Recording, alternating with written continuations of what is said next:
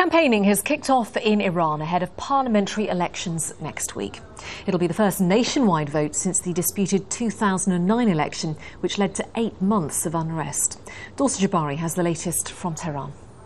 This is one of the many campaign posters that has started to go up across the country as Iranians prepare to go to the polls on March 2nd for parliamentary elections.